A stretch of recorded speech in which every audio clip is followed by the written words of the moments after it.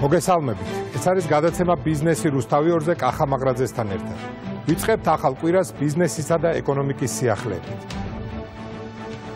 საწვავის ფასი მარტში სავარაუდოდ კიდევ შემცირდება.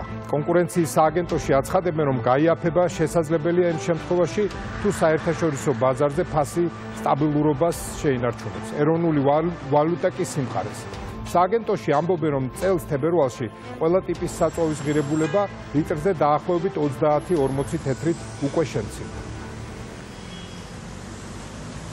ბაზარზე არსებული ვითარება დღეს არის შემდეგი, რომ თებერვლის თვეში ბაზარზე ადგილი ქონდა საწვავის ფასის მნიშვნელოვან კლებას, რაც გამოიხატა მაგალითად ყველა ტიპის საწვავზე დაახლოებით 30-40 თეთრიანი ფასის შემცირებით და თუ იგივე მოცემულობა დარჩება, რაც გულისხმობს კურსის სიმყარეს საერთაშორისო ბაზარზე არსებულ ფასების სტაბილურობას ჩვენ მარტის თვეშიც უნდა ველოდოთ ფასების შემცირების მიმართულებით გარკვეულ კორექტირებას. ქართულ ბაზარზე წარმოებული კვერცხი აკრძალულ ანტიბიოტიკებს არ შეიცავს. შესაბამისი კვლევა სტრატეგიული კვლევებისა და განვითარების ცენტრმა ჩაატარა. კვლევის ფარგლებში ბაზარზე არსებული 8 უმსხვილესი კომპანიის ნიმუშები აიღეს, სხვა ტიპის დარღვევები წვანე ფერმისა და ეკოკვერცხის პროდუქციის შემოწმებისას აღმოჩნდა, რაც გულისხმობს ეტიკეტზე ინფორმაციის არასწორად მითითებას და მომხმარებლის შეცდომაში შეყვანას. მოხმარებელთა უფლებების დასაცავად 4 თვეში კონკურენციის ეროვნულ სააგენტოში 180-მდე განაცხადი შევიდა. ამის შესახებ საქართველოსი მოხმარებლების უფლებების დაცვის პირველ საერთაშორისო კვირეულზე განაცხადეს. ღონისძიების ფარგლებში მარეგულირებელი უწყებები განხორციელებულ რეფორმებს, მიღებულ შედეგებს და არსებულ გამოწვევებს განიხილავენ. მოხმარებელთა უფლებების დაცვის შესახებ კანონი ძალაში გასული წლის ივნისიდან შევიდა, ხოლო კონკურენციის სააგენტო აღსრულების ნაწილში 1 ნოემბრიდან ჩაერა. თუმცა შემოსული განაცხადების 80% სწორედ ონლაინ ვაჭრობასთან დაკავშირებული არის. თემა ხშირ შემთხვევაში არის ტექნიკის დასაყოფო ცხოვრებო ტექნიკის შესყიდვებთან დაკავშირებით, განსაცმლის შესყიდვებთან დაკავშირებით, საკმაოდ ცნობილი кейსი ჰქონდა ტრანსპორტირებასთან დაკავშირებით, როდესაც მომხმარებელს შეეცვალა ღირებულება, მოულოდნელად არ შესაბამისად ინფორმირებული ამის შესახებ, ეს საკითხი შეიძლება ითქვას, რომ ამოწურულია და გადაჭრილია მომხმარებელთა სასარგებლოდ და საკმაოდ მრავალმხრივია ეს თემატიკა, რასაკითხსაც ჩვენთან მომხმარებლები მოდიან. ამიტომ ჩვენი მიზანია, რომ მეტი ინფორმაცია გქონდეს მოქალაქეებს. როგორც ენერგეტიკული პლატფორმის თვალსაზრისით თვალსაზრისით ამასთანავე წყალმომარაგებაში და გაზმომარაგებაში ძალიან აქტუალური გახდა თემები, რაც უკავშირდება მომხმარებელთა უფლებების დაცვას, უსაფრთხოების მიმართულებით აქტიურ მუშაობას. ჩვენი გადმოსახედიდან ძალიან მნიშვნელოვანი არის უფრო აქტიური მუშაობა მოსახლეობასთან, ვინაიდანაც სტუდენტობა გახლავთ ის ძალა, რომელიც აქტიურად არის ჩართული სხვადასხვა მიმართულებით მუშაობს თემებზე, სამაგისტრო თემებზე, საბაკალავრო თემებზე, ჩვენთვის გადამწყვეტი არის მათ მივაწოდოთ ინფორმაცია და გარკვეულწილად ისინი როგორც ჩვენ ვეხმარებთ მომხმარებით მათ იცით დაგვეხმარონ ჩვენ იმისათვის რომ უფრო უკეთესი შედეგი გქონდეს მომხმარებელთა უფლებების დაცვის თვალსაზრისით. უცხოელმა ინვესტორებმა ქართულ ეკონომიკაში 2022 წელს 2 მილიარდი დოლარის ინვესტიცია განახორციელეს. აქედან მხოლოდ 6 მილიონი დოლარი მოდის სოფლის მეურნეობაზე. მართალია ეს ბოლო 5 წლის განმავლობაში სექტორში მოზიდული ინვესტიციების ყველაზე მაღალი მაჩვენებელია, თუმცა თუ პირდაპირ უცხოური ინვესტიციების სტატისტიკას ჩავხედავთ, ეკონომიკის სექტორების მიხედვით სოფლის მეურნეობა მე-15 ადგილზეა და როგორც სპეციალისტები ამბობენ, ინვესტორები ქართულ სოფლის მეურნეობაში ინვესტირებით ნაკლებად ინტერესდებიან. რა გამოწვევების წინაშე არიან ქართული აგრესექტორის წარმომადგენლები და რა პერსპექტივა აქვს დარგს ჩვენ სტუმართან კომპანია აგროსოლუშენის დირექტორთან დიანა ბერიძესთან ერთად განვიხილავთ. გამარჯობა, მოგესალმებით ხალბატონ დიანა. ძალიან ერთი შეხედვით დამაიმედებელი სტატისტიკა გვაქვს, ხო? იზრდება აგროსექტორში ინვესტიციები, უცხოურიც, ალბათ ადგილობრივიც, მაგრამ ეს იმასთან შედარებით თუ რამდენი მოცულობის ინვესტირება ხდება ზოგადად ქვეყანაში, საკმაოდ დაბალი მაჩვენებელია, ხო? არადა ერთის მხრივ სოფლის მეურნეობის დარგიც ვითარდება და ეს არა მარტო ჩვენი გადაცემით, არამედ ზოგადადაც ჩანს. აი, რატო არის ესეთი დისბალანსი უცხოური ინვესტიციების მაჩვენებელსა და სექტორის პოტენციალს და განვითარებას შორის? ზოგადად რო შევაფასოთ სიტუაცია. კი ბატონო, მოგესალმებით კიდე ერთხელ, მივესალმებით ჩვენს მენელს და მაყურებელს. მადლობა მოწვევისთვის. ზოგადად რომ დავიწყოთ გლობალური ჭრილით ზოგადად რატომ ინტერესდებიან ზოგადად საერთაშორისო ინვესტიციით და საერთაშორისო ინვესტორები საქართველოსი ხომ? ამას რამდენიმე ფაქტორი აქვს. ერთი ის რომ არის დაუშვათ მიმზიდველი საინვესტიციო გარემო, რომ და აუცილებლად უნდა იყოს ამასთანავე სტაბილური პოლიტიკური მდგომარეობა და აუცილებლად ერთ-ერთი და უმთავრესი მნიშვნელოვანი ფაქტორი ეს არის ის გარემო პირობები, გარემოს კლიმატურ ნიადაგური პირობები, რომლითაც ასეთი მიმზიდველი არის ჩვენი ქვეყანა საინვესტიციო პოტენციალისთვის, ასე ვთქვათ. ამას რა განაპირობებს? ახლა თქვენ ახსენეთ, რომ ინტერესდებიან უცხოელი ინვესტორები. დიახ, ეს მართლაც ასე არის და ამას ჩვენ ყოველწლიური სტატისტიკის მონაცემებითაც ეს ამართლებს ამ შედეგს შეიძლება ითქვას და ყოველწლიურად იზრდება იმ ინვესტორების დაინტერესება ადგილობრივი იქნება ეს თუ საერთაშორისო ინვესტიციების მოცულობის დონე და რაოდენობა ქვეყანაში ამ სოფლმეურნეობის სექტორში დაინტერესებული პირების. რამდენად ბოდიში რომ შეგაწყვეტინეთ, რამდენად საკმარისია ეს ინვესტიციების მოცულობა, რომ სწრაფი განვითარება და რაღაც გარღვევა მოხდეს აგროინდუსტრიის და აგრომეურნეობების განვითარების. იცით როგორ არის ზოგადად ინვესტიციების შემოსვლას რამდენიმე დადებითი ფაქტორიც ახლავს თან, ხომ გარდა იმისა, რომ ფულადი რესურსი შემოდის ქვეყანაში და ქვეყნის ეკონომიკისთვის ეს კარგია. ერთ-ერთი ალბათ უმთავრესი და უმნიშვნელოვანესი საკითხი არის ის, რომ დადებით ბენეფიტებს თუ განვიხილავთ, ცოდნა შემოდის, ხომ უცხოური ინვესტიციების სახით ის ცოდნა და ის მიდგომები შემოდის, რომელიც ასე გვაკლია დღეს კონკრეტულად ამ სფეროს. როდესაც ინვესტიციას ახორციელებს უცხოელი ინვესტორი ქვეყანაში, მას შემოაქვს თავისი მიდგომები, თავისი ტექნოლოგიები. ბუნებრივია ის მუშახელს, ადგილობრივ მუშახელს იყენებს იმისთვის, რომ მართოს თავისი ბაღი უკვე კონკრეტულად თავისი ბიზნესი და როდესაც ჩართული არიან ადგილობრივები, ისინი სწავლობენ როგორ უნდა გადავიდნენ იმ თანამედროვე მიდგომებზე, იმიტომ რომ შედეგი გაცილებით სხვა არის, როდესაც ინვესტიციები უცხოური არის და იქ რაღაც თანამედროვე მიდგომებზე არის საუბარი, ვიდრე იმ ტრადიციულს, როგორც აქამდე იყენებდნენ. შესაბამისად ეს დადებით ბენეფიტად შეიძლება განვიხილოთ ის რომ ახალ ცოდნას ვიყენებთ, ახალ ტექნოლოგიებს ვიყენებთ და ეს ბუნებრივი არის ძალიან კარგი მაჩვენებელია. შეიძლება ფულადი რესურსი ბევრი არ არის, მაგრამ კომპეტენცია და ცოდნა და ახალი ტექნოლოგია იმდენად მნიშვნელოვანია, რომ ეს წონის ამ შემთხვევაში ნაკლებ ინვესტიციას. კი ბატონო, თუმცა ნაკლებ ინვესტიციას შეიძლება ითქვას, რომ ვერ ვიტყოდი, ესეც კი კი ესეც კი თქვენ რაც შესავალში ახსენეთ ეს მონაცემები, ესეც კი გასაკვირი იყო ჩემთვის ეს მოცემულობაც. მეორე მხარე არის რა პრობლემებს აწყდებიან ინვესტორები, როდესაც შემოდიან ჩვენს ქვეყანაში და არაერთი პრობლემა გვესმის მათი მხრიდანაც. ეს გარემო ფაქტორები რო შევაფასოთ, იმიტომ რომ თქვენ ახსენეთ კლიმატურ ნიადაგის კლიმატურ ნიადაგიური პირობები და ზოგადად კლიმატური პირობები, რაც საკმაოდ კარგი პოტენციალის მატარებელია, მაგრამ აი საკანონმდებლო კუთხით, ზოგადად ინვესტორებთან ურთიერთობის თვალსაზრისით, იგივე მთავრობასთან ურთიერთობის კუთხით რა არის ხელშემშლელი და ხელშემწყობი ეგეც რო გითხრათ. კი ბატონო, პირველი საკანონმდებლო კუთხით რო დავიწყოთ, 2019 წელს იქნა მიღებული და უშათ ის კანონი, რომელიც უცხოელებისთვის მიწის შესყიდვის და მიწის ფლობის ნაწილს ზღუდავდა.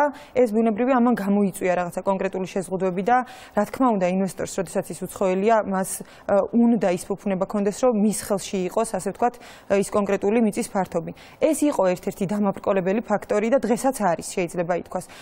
მეორე მხარე, რაც ასევე მნიშვნელოვანი არის, რასაც აწყდებიან პრობლემების კუთხით, ეს არის ის, რომ შეიძლება იყოს შესანიშნავი კლიმატური პირობები, ნიადაგური პირობები იმ კონკრეტული კულტურებისთვის, რომელიც სურთ მათ რომ გააშენონ, თუმცა ადგილობრივ ბაზარზე უკვე აწყდებიან ისეთ პრობლემებს, როგორიც არის მუშახელის, რაოდენობრივი მუშახელის მოძიების საკითხი, როგორიც არის კვალიფიციური კადრების მოძიების საკითხი, ყველა მიმართულებით არ არის საუბარი აქ რომელიმე კონკრეტულ მიმართულებაზე, ჯერ კიდევ რჩება გამოწვევად და რაც მთავარი არის იმ თანამედროვე ტექნოლოგიაზე, როდესაც საუბრობთ, ჩვენ თანამედროვე ტექნოლოგიას ჭირდება ცოდნა, გამოყენება, როგორ უნდა ითარგმნოს ეს კონკრეტულ ნაბიჯებში, როგორ უნდა გამოიყენოს ხომ კონკრეტულმა ადამიანმა, ვინც უკვე ოპერირებას დაიწყებს, მუშახელზე მაქვს აქ საუბარი. ესეც ერთ-ერთი გამოწვევა არის. თუმცა ინვესტორების ნაწილი რო შევადაროთ, თავშოთ ადგილობრივი ინვესტორების და უცხოელი ინვესტორების, უცხოელი ინვესტორების აი ერთი დადებით შეიძლება იყოს ის, რომ მათ წინასწარ აქვს რაღაც გაანალიზებული რომელ კულტურაზე მიდიან, რომელი კულტურა არის მათი საორიენტაციოდ აღებული და წინასწარ ვაქვთ მოძიებული სარეალიზაციო ბაზრებიც, რაც შეიძლება ითქვას, რომ ეს ერთი ნაბიჯით წინ გადადგმული ნაბიჯია. ადგილობრივები უფრო ცდისა და შეცდომის მეთოდით მივდივართ, ხო? სამწუხაროდ ესე არის და უცხოელ ინვესტორს მხოლოდ მოძიება უწევს უკვე რომ მიწა შეუსაბამოს იმ კონკრეტული კულტურის, რომელიც მას უკვე შერჩეული აქვს. თუმცა აქ არის მეორე ნაწილიც აუცილებლად გასათვალისწინებელი ის, რომ მიმზიდველს, როდესაც ვსაუბრობთ მხოლოდ ნიადაგურ კლიმატურსაც, რომ არ დავარქვათ, ძალიან დიდი გავლენა იქონია ეს საგრანტო კომპონენტებმაც, ხომ? რომელმაც ასე ვთქვათ, გარდატეხი მოვლენა იყო ჩვენს ქვეყანაში ამ სოფლის მეურნეობის სექტორის განვითარების.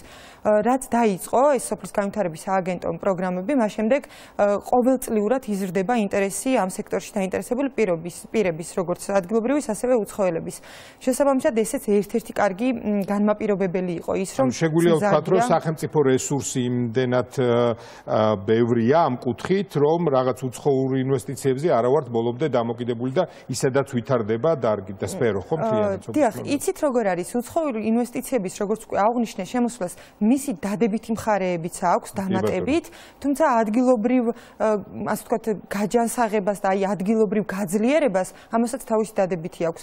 მხოლოდ დაუშვათ უცხოური ინვესტიციები ბუნებრივი არის, რომ ვერ მივახცევთ იმ შედეგს, რა შედეგიც გვინდა და რის ისტრაფოც გვინდა რომ სოფლის მეურნეობის სექტორში იყოს ერთ-ერთი რაღაცა მაღალ განვითარებულ ქვეყნად ვიყოთ ამ სექტორში და ვაწარმოოთ დაუშვათ ევროკავშირისთვის საჭირო პროდუქტი იმ ხარისხის იმ ნორმებს დაკმაყოფილებს ჩვენი წარმოებული პროდუქტი, თუმცა ეს ორივე ერთმანეთთან რო უცხოური ინვესტიციები შემოვიდეს და ადგილობრივ საერთაშორისო იქნება თუ ადგილობრივი პროექტების დახმარებით განვითარდეს დარგი, ეს უნიშნელოვანესი ფაქტორი იქნება. კი ბატონო, აი ბოდით ბოლოში შევაფასოთ სწორედ ამ დარგის თლიანად სექტორის დინამიკა, იგივე ვთქვათ, უცხოური ინვესტიციები თუ სახელმწიფო პროგრამით მიღებული საჭირო რესურსების შედეგად ჩვენ ვხედავთ, რომ ბევრი ვთქვათ, აი პერსონალური ადამიანური ისტორიებიც რო გავიხსენოთ, მიდის უკვე სოფელში, თუნდაც თბილისიდან, დიდი ქალაქებიდან, იწყებს მცირე თუ საშუალო მეურნეობების განვითარებას, იმიტომ რაღაც ტრენდული ხასიათი მიიღო ამ ყველაფერმა. მაგრამ აქვე ვხედავთ, რომ ბევრი პროექტი ვეღარ ვითარდება, ან რაღაც ეტაპზე ჩერდება. ეს ზოგადი სტარტაპებისთვის დამახასიათებელი ტრენდის ის არის ნაწილია და მაჩვენებლის ნაწილია თუ აქ უფრო სხვა პრობლემებთან გვაქვს სოფლის მეურნეობაში საქმე. კი ბატონო, იმდენად გლობალურ პრობლემას შეეხეთ. ანუ პრობლემა რაში არის? მოკლედ და ლაკონურად კი, კი, ძალიან მოკლედ გიპასუხებთ. კი ბატონო, ძალიან მოკლედ გიპასუხებთ. პრობლემა არის ის, რომ წინასწარ არ ხდება დაგეგმვა რაღაც ნაბიჯების, არ ხდება გაანალიზება, იმიტომ რომ ეს არის სექტორი, რომელიც არ არის პროგნოზირებადი, ხომ? ვერ ვიტყვით რომ რაღაც საინვესტიციო ზოგჯერ მიაჩნიათ ხოლმე ინვესტორებს არ აქვს მნიშვნელობა ადგილობრივი იქნება თუ უცხოელი, მიაჩნიათ რომ რაღაც საინვესტიციო პაკეტი შექმნიან და ეს არის მხოლოდ სოფლის მეურნეობისთვის საჭირო, რომ შემდგომში წარმატებით იოპერირონ. არ არის სწორად გათვლილი ის ნაბიჯები, რომელიც უნდა გადადგან მათ. ანუ მულტიფაქტორული ანალიზი არ ხდება, შეიძლება ესე ვთქვა. კი ბატონო, შეიძლება ასეც უწოდოთ, რომ საწყის ეტაპზევე არის რაღაც კონკრეტული შეცდომები შეიძლება დავარქვათ ამას და ან არ არის გაანალიზებული რა საჭიროება შეიძლება დადგეს. და მეორე ძალიან მნიშვნელოვანი არის ის ფაქტიც რომ სამწუხაროდ ჩვენ აი ინვესტორების დაინტერესებაზე როდესაც საუბრობთ ინვესტორს ყოველთვის აინტერესებს ერთი მთლიანი ფართობი სადაც შეძლებს ის რაღაცა ღირებულების მოტანას ხომ? შექმნას და ჩვენს ქვეყანაში ეს პრობლემა არის რაღაცა მცირემიწიანი ფრაგმენტულად მცირემიწები გვაქვს და იმ დიდ მიწებზე სადაც აი უხსოვარი დროიდან რომლებიც გვაქვს ჩვენ იყო რაღაცა სხვა სტატუსის მატარებელი მიწები მაგალითად იგივე საძოვრები სადაც არ მუშავდებოდა წლების წინ იქ ჯერ კიდევ არ არის ინფრასტრუქტურა მაგალითად. არ არის ელექტროენერგიის წყარო არ არის ინტერნეტზე ავსაუბრებ ხომ რაღაც მაგრამ თუმცა ინტერნეტის ხელმისაწვდომობა ძალიან მნიშვნელოვანია დღეს თუ ტექნოლოგიურად აღჭურვილ ბაღებზე ვსაუბრობთ არ არის ისეთი შესაბამისი ინფრასტრუქტურული რაღაცა მოწყობა რომელიც გაუმარტივებდათ მათ საქმიანობას. ესეც ერთგვარი ასე ვთქვათ გამოწვევა შეიძლება შეიძლება იყოს ჯერ კიდევ ჩვენი ქვეყნისთვის და რაც აი ყველაზე ისეთი ხაზგასასმელი რაც არის ეს არის ცოდნის ტექნოლოგიების ინფორმაციის ხელმისაწვდომობა და დღეს ჩვენს ფერმერებს ყველაზე მეტად სჭირდებათ რეალური შედეგი ნახონ. რა ხდება ტექნოლოგიურად მართულ ბაღებში? რა ხდება თანამედროვე ცოდნით და მიდგომით მართულ ბაღებში? როგორი შედეგის დადება შეიძლება? და ამავდროულად რა შედეგს იღებენ ისინი დღეს? როდესაც აი წინაწლების რაღაც დაყრდნობილ უკვე მოძველებული მიდგომებით ოპერირებენ ბაღებში. კი ბატონო ძალიან დიდი მადლობა მადლობა, ძალიან საინტერესო იყო თქვენი სტუმრობა. იმედია ვიქონიოთ, რომ ეს პრობლემები და გამოწვევები დაიძლევა და აგრარული სექტორი უფრო სწრაფად ეტყობა. მადლობა, ამომედით ვართ. ჩვენც მადლობა მოწვევისთვის. კარგად გზარდებოდეთ. ვაგრძელებთ გადაცემას. საინვესტიციო აქტივობა საქართველოსში წელსაც მაღალი იქნება. მიიჩნევენ TBC კაპიტალში. ანალიტიკოსების თქმით, 2022 წელს პირდაპირ უცხოური ინვესტიციების 61%-იანი მატება არამხოლოდ რეინვესტირების, არამედ ახალი ინვესტიციების შემოდინების ხარჯზე იყო, რასაც დადებითად აფასებენ. ხელისშემშლელი ფაქტორებიდან კი როგორც ლარში, ასევე საერთაშორისო ბაზრებზე ვალუტაში გაზრდილ საპროცენტო განაკვეთებს ასახელებენ. ასევე რეგიონში არსებული რთულ გეოპოლიტიკურ ვითარებას, მიგრაციის ნაკადსა და ლარის გამყარების მდგრადობასთან დაკავშირებულ კითხვებს. ეს უკანასკნელი მნიშვნელოვანი ემთვალსაზრისითაც, რომ საქართველოსი გრძელვადიანი პროექტების დაფინანსება უმეტესწილად უცხოურ ვალუტაშია. აღნიშნავენ TBC კაპიტალში. საქართველოს ექსპორტი იანვარ-თებერვალში წინა წელთან შედარებით 20%-ით გაიზარდა და 915 მილიონ დოლარს მიაღწია. საქსტატის ინფორმაციით შედარებით მცირე ტემპით 9%-ით გაიზარდა იმპორტი და მილიარდ 983 მილიონ დოლარს გადააჭარბა. ექსპორტის დის მიუხედავად, საგარეო ვაჭრობის ბალანსი კვლავ ნეგატიურია და ბრუნვის თითქმის 40% შეადგენს. საქართველოს სოფლიო თხილის წარმოებელთა ხუთეულში შედის. თუმცა ყველაზე დაბალი ხარისხით და შესაბამისად ფასებით გამოირჩევა. თხილს ჩვენი ქვეყნის საექსპორტო პროდუქტებში ერთ-ერთი მთავარი ადგილი უკავია. გასულ წელს უცხოეთში დაახლოებით 100 მილიონი დოლარის ქართული თხილი გაიყიდა. რატომ ვერ შეძლო წლების განმავლობაში დარგმა ჯეროვანი განვითარება და არის თუ არა გამოსავალი სახელმწიფო სუბსიდირების პროგრამა ამ თემაზე სასაუბროთ მერაბ ჭითანავა საქართველოს თხილის წარმოებელთა ასოციაციის აღმასრულებელი დირექტორი მოვიწვიეთ მოგესალმებით ბატონო მერაბ დიდი ხანი არ გვინახავს ერთმანეთი და ახალი ინფორმაციის მიღების იმედათაც ვართ. ერთის მხრივ ლიდერობთ ხო თხილის წარმოებასა და ბაზრის სოფლიო ბაზრის მომარაგებაში. მაგრამ მეორეს მხრივ კითხვა ჩდება, კითხვა კითხვები არის ხარისხთან და შესაბამისად ფასთან მიმართებაშიც. აი მოკლე იმით რომ დავიწყოთ ანალიზით ძირითადი ფაქტორები რო გითხრათ რა განაპირობებს ამ ყველაფერს და მე უკვე სიღრმეებში და დეტალებში შევიდეთ ამ თემის. აა დიდი მადლობა მოწვევისთვის, ნამდვილად მიხარია რომ გვაქვს შესაძლებლობა განსაკუთრებულ ასეთ პერიოდში გაზაფხულზე ამ თემებზე რო ვისაუბროთ, იმიტომ რომ ეს ჩვენთვის ძალიან მნიშვნელოვანია. აა შემიძლია ორი სიტყვით გიპასუხო თქვენ შეკითხვაზე. პირველი დიდი პრობლემა ჩვენთვის არის ფაროსანა და დარჩა დიდი პრობლემად. მეორე არის ფერმერების ნაკლები ჩართულობა სასოფლო სამეურნეო საქმიანობაში, განსაკუთრებით დასავლეთ საქართველოში. აა მოკლე, მაგრამ ბევრი ახალი კითხვის, ასე ვთქვათ, მოცემის თვის გაჩენის საფუძველი იყო თქვენი პასუხი. ხარისხის თემას რო დაუბრუნდეთ, იმიტომ რომ გარდა იმ თქვა ჩართულობის და გარდა ფაროსანასი, არის სხვა რამე ფაქტორები, იგივე ცოდნის დონე, ან ფერმერთა მზაობა ამ საკითხთან მიმართებაში, იმიტომ რომ ბოლო კვლევებით იგივე აზერბაიჯანული თხილის ხარისხიც კი უკეთესად შეფასდა იმაზე. აი რატო არ ვაკეთებთ ხარისხზე აქცენტს? თუ შეიძლება ამაზე როგორ გუპასუხოთ? რაც შეეხება აზერბაიჯანული თხილის საკითხს, მინდა გითხრათ, რომ აზერბაიჯანული თხილი ხარისხობრივი მაჩვენებლებით არის პრემიუმ კატეგორიის 90%-ზე მეტი. და ასევე ნუ მას გააჩნია თავისი პრობლემები და מחასიათებლები საბედნიეროდ ჩვენ ბევრად ბევრი უპირატესობა გვაქვს თქვათ მეზობელ ქვეყნებთან მიმართებაში. რისი გამოყენებაც თავისუფლად შეგვიძლია თუმცა დაუბრუნდები იმას რაც თქვენ ბძანეთ ცოდნის მე უკვე ალბათ უნდა შევცვალოთ ჩვენ ამ თემაზე საუბარი. ცოდნის არ ქონა არ არის პრობლემა ჩვენთვის.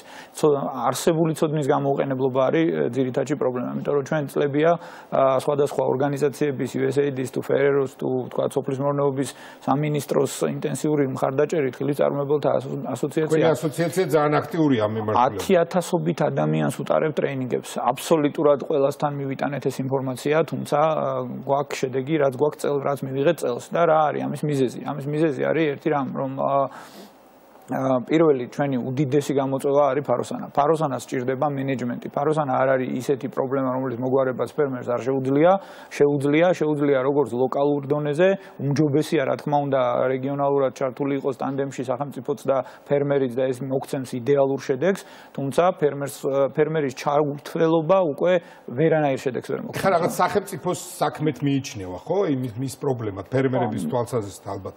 უფრო მეტიც მინდა გითხრათ, ჩვენ გქონდა კატასტროფული წლები 2017-18 წელი. გახსოვთ, ჩავერთეთ გავერთიანდით სახელმწიფოსთან მოვაწერეთ თანამშრომლობაზე ხელი დავიწყეთ ურთიერთთანამშრომლობა და წარმოუდგენელ მასშტაბებს მივახციეთ 15000 კაცი 2019 წელს ყავდა ჩართული და 30-მდე ავწიეთ.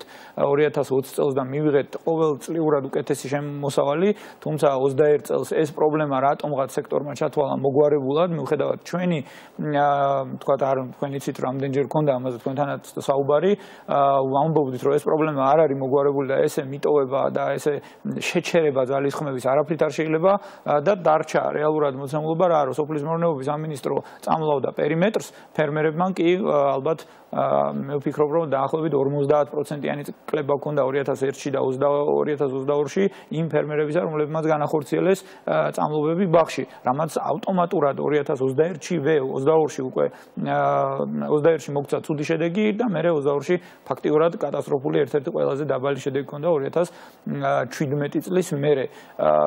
ანუ ისევ თავიდან უნდა გავაცნობიეროთ რომ ფაროსანა პრობლემაა და ყოველას მონაწილეობა ამ პრობლემასთან ბრძოლაში არის გადამწყვეტი ვარდი, ხო? სამწუხაროდ ძალიან რთული არის ამ ესე ვთქვათ რელსებზე სექტორის დაყენება, რომ მუდმივად პროგრესირებად რეჟიმში ვიყოთ. პრობლემა გვაქვს ძალიან ესეთი მარტივი, რომ მაგალითად გვაქვს რამოდენიმე რეგიონი, სადაც ვაწარმოებთ ხილს, ამ რეგიონებიდან გამოირჩევა კახეთის რეგიონი, სადაც ფერმერები სხვა გამოცდილებიდან, ყურძნის გამოცდილებიდან გამომდინარე ინტენსიურად წამლავენ და უვლიან თავიანთ ბაღებს და მათ ესეთი დეტალური მართვა არ სჭირდებათ, რომ ეს ძალისხმევა ჩადონ თავიანთ პლანტაციებში.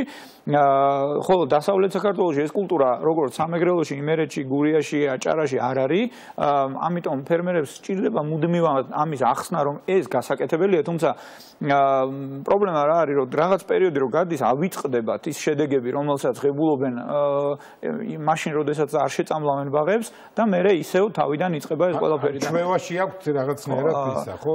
მე ვფიქრობ, რომ ჩვენ გვაქვს საკმაოდ ერთი კარგი თვისება სექტორში, რომ აი ფაროსანას პრობლემა მაგალითად გააერთიანა თხილი სექტორი და 2019-ში და 2019-ში 20-21-ში ისეთი შედეგები მივიღეთ, რომელიც ადრე არ ქონდა. შესაბამისად, მე დარწმუნებული ვარ, რომ წლევანდელმა წელმა ალბათ საბოლოოდ უნდა დაუსვას წერტილი იმაზე სპეკულაციას სჭირდება თუ არა თხილის ბაღს მოვლა. მე არ ამგონია რომ ნორმალური ადამიანი, რომელსაც ოჯახისთვის კეთილდღეობა უნდა, აქვს იმის უფლება რომ ურჩიოს ფერმერს რომ თავი შეიკავოს წამლობისგან. რისი პრეცედენტები ჩვენ სექტორში ძალიან ბევრი ქონდა და ამის წინააღმდეგ ხშირად საუბრობთ, ვამბობთ, ვაცხადებთ, იმიტომ რომ ეს არის არაკეთილსინდისიერი რჩევა რომ ეხა ფერმერს ეუბნები რომ შენ ბაღს არ მოვარო და მაინც კარგ შედეგს მიიღებ.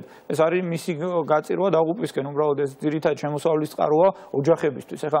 ეხა დაუბატონო გასაგებია ეგ ამბავი მე სახელმწიფო სუბსიდირების პროგრამაზეც მინდა კითხოთ. ფაროსანას ამბავი რომ მტკივნეულია ეგ ყოველთვის ნათელია. წელს პირველად დაიწყო სახელმწიფო სუბსიდირების პროგრამა. ანუ მანამდე თვით დინებით ვითარდებოდა მოდი ასე ვთქვა და თქვენი მეცადინეობით თუ ჩვენი საერთაშორისო პარტნიორების მხარდაჭერით და მეგობრობით და საკმაოდ მაღალ შედეგებს მიაღწიეთ. ეხლა შემოვიდა სუბსიდირების პროგრამა. მნიშვნელოვანი იყო აი რა რა პრობლემებს პასუხობს? ეს 500 ლარიანი ვაუჩერია თუ არ ვწდები დახმარების სახით. რა შეიძლება მიეხმაროს და რა შეიძლება ასე ვთქვათ ბიძგი მისცეს აი ამ დახმარებებმა? ან რა პრობლემას მოაგვარებს ეს ყველაფერი თქვენეული შეფასება საინტერესო იქნება? ესე იგი პირველი რომ დაუბრუნდები ერთი სიტყვით იმ წინა თემას ესე იგი არა მარტო ფაროსანაზე არის საუბარი სხვა მავნებლები და სხვა პრობლემები თქვა რომელსაც როგორც ფაროსანას ჭირდება მენეჯმენტი და შეწამლა და მოვლა ბახში სასუქი შეტანა თავისით აღარ ისხავს ბაღი. უნდა შევეჩიო. არავითარ შემთხვევაში და განსხვავება არის უზარმაზარი პროგრამაზე შეეხება პროგრამას ჩვენ ძალიან ბევრი კომენტარის გაკეთება მოგვიწია ტერმინ სუბსიდირებასთან დაკავშირებით. ჩვენ ყველამ ძალიან კარგად ვიცით, რომ სექტორში, აგრარულ სექტორში სუბსიდირება ფასის არის არასწორი მიდგომა საკითხის მიმართ და მაგალითად ხილის წარმოებელთა ასოციაცია ყოველთვის არასდროს არ მოითხოვდა სახელმწიფოსგან და ამის პრეცედენტი არ აქვს ჩვენ ისტორიაში, რომ სახელმწიფოს მიმართე და უთხარი რომ დღეს ხილი ღირს 4 ლარი, თქვენ დაგვიმატეთ ლარი და გახდება 5 ლარი. ეს არ იყო არასდროს ჩვენი მიზანი. ჩვენი მიზანი იყო ის, რომ ჩვენ სექტორს მიუხედავად იმისა, რომ 5-6 წელია, კი არა, 10 წელი ასოციაცია, მაგრამ 5 წელი 6 წლის განმავლობაში აი ამ კონკრეტულ ჭრილში ვართ ერთობლივად სამინისტროსთან ერთად მუშაობთ. მუდმივად ვეუბნებოდით, რომ მოგვეცით საშუალება, რომ სექტორის დიდი ნაწილი ჩავრთოთ ამ პროცესში. აქ ჩვენ ჩავერთეთ როგორც ტექნოლოგიური საშუალებები, შესაძლებელი აპარატები, გადმოგცა სამინისტრომ დაურიგეთ ფერმერებს, ცნობიერება აუმაღლეთ და ჩაუტარეთ ტრეინინგები, ყველა საუხსენით რა არის რეალურად გასაკეთებელი და სულ იყო პრობლემა იმის, რომ ფინანსური რესურსები ტექნიკური მხარდაჭერა და არა ფასის სუბსიდირება, ხო? სრულიად ქონდა დაფარული გასული წლების განმავლობაში. სულ ქონდა იმაზე საუბარი, რომ ფერმერს არა აქვს ფული, რომ რამდენად საკმარისია 500 ლარი ზაი. აბსოლუტურად, მთლიანად 500 ლარში ფერმერს შეუძლია 6-ვე წამლობისთვის საჭირო პრეპარატი შეიძინოს და თანმიმდევრულად გააკეთოს, რაც მინდა გითხრათ რომ გარანტიას აძლევს მას რომ პრემიუმ ხარისხის თხილი ექნება. მე ჩემ ბაღში მეც არაფერს არ ვაკეთებ, ჩვენი წარმატებული ფერმერები სხვა არაფერს არ აკეთებენ დავიანთ ბაღში და ღებულობენ წლების განმავლობაში მიუხედავად ცუდი ამინდისა, წვიმისა, ქარისა და ასე შემდეგ და რაღაც კატაკლიზმი თუ არ მოხდა, რყევის ამპლიტუდა არის 10%, რომელიც არსებითად არის. ანუ ძირითადად მიზანი არის სწორედ შეწამლა და ესე ბაღების მართვა. აუცილებლად ეს ჩემი თხოვნა, ჩემი რჩევა, ჩემი მოწოდება იქნება სექტორის იმ ფერმერების მიმართ, რომლებიც ჩაერთვნენ ამ პროგრამაში და საკმაოდ დიდმა 35000 გექტარს გადაცდა დარეგისტრირებული ფერმერ მიწის თხილის ბაღების მაჩვენებელი. ხა აქ აღნიშნავ იმას, რომ ისტორიული საქმე კეთდება, ხო, თხილის სექტორის აღრიცხვა ხდება, რომელიც ადრე არაზრუს არ ქონდა და გვექნება კონკრეტული ინფორმაცია იმის შესახებ, რამდენი გექტარზე გვაქვს თხილის ბაღი და ამ ხალხის მიმართ არის ერთადერთი რჩევა და მოწოდება, რომ ყველამ შეიძინოს შესაძლებელი პრეპარატები და თავის დროზე უარონ ბაღებს ეკნებათ როგორც საუკეთესო შედეგი, ასევე გარანტირებულად ეკნებათ ღირსეული ფასი. რაზეც არის ძალიან ხშირად საუბარი და ეგ მნიშვნელოვანია. კი ბატონო, გისურვებთ გაერთიანებას და ხარისხის გაზდას. მადლობა. მადლობა ბატონო მერაბ, ჩვენ ვაგრძელებთ გადაცემას. გამყვანი ტურიზმი მზარ დინამიკას ინარჩუნებს. პანდემიამდელი მაჩვენებლები სრულად აღდგენილია. ქართული მოგზაურები უკვე კარგად ნაცნობ ტურისტულ ლოკაციებს გარდა ახალ დანიშნულების ადგილებსაც აქტიურად არჩევენ. სექტორს აქვს მოლოდინი, რომ 2023 წელი გასულ წელთან შედარებით კიდევ უფრო დატვირთული იქნება. თეო სირბილაძე ესაუბრა გამყვან ტურ ოპერატორებს და ახლა ის პირდაპირ ეთერში გვერდება. თეო, რომელია ბოლოდროინდელი პოპულარული მიმართულებები და გაზრდილია თუ არა ტურისტული პაკეტების ფასი გასულ წელთან შედარებით?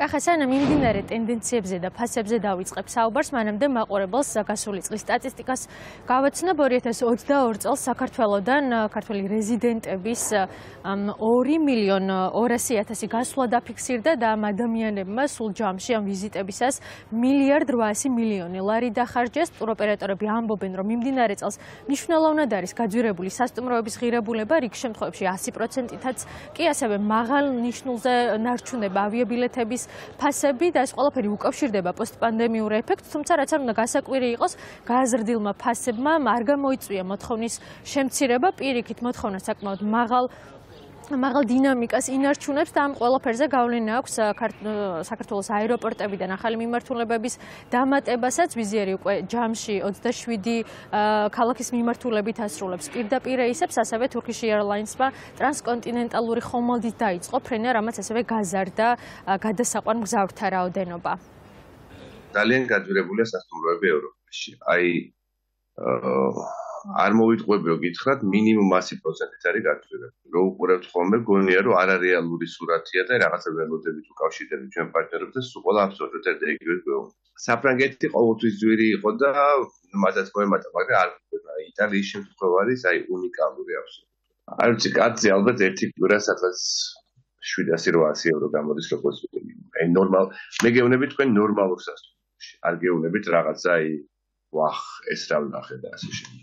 ევროპაში საკმაოდ მომატებულია სასტუმრობის ფასადი. იცით არის ეს კოვიდ პოსტკოვიდური პერიოდი, რაც და გამოიაროს და ის ზარალი, რაც რეალურად გამოიწვია კოვიდმა, რომ წელიწადის განმავლობაში ზოგს 2 წლის განმავლობაში დაკეტილი ქონდა სასტუმრო და ამას ჭირდება შენახვა და მოვლა, რაც არის ძალიან დიდ ხარჯებთან დაკავშირებული. შესაბამისად, ეხლა რო ესეთი ინერციით წამოვიდა ისო ტურიზმი, ის ხარჯი და ზარალი უნდა ამოიღოს იმ სასტუმრო იქნება იქნება თუ ავიაკომპანია იქნება რაც შეეხება ბოლოდროინდელ პოპულარულ მიმართულებებს, ტუროპერატორები ამბობენ, რომ მოგზაურები უკვე აღარ ირჩევენ სტანდარტულად ქუთაისიდან პირდაპირ რეისებს და ხშირად ისინი თბილისიდან გადაჯდომით ფრენებსაც ირჩევენ, მიმართავენ, ასე რომ ვთქვათ, გააქტიურებულია პორტუგალიის მიმართულება, ასევე მალდივებს ყავს ძალიან ბევრი სტუმარი ჩვენი ქვეყნიდან.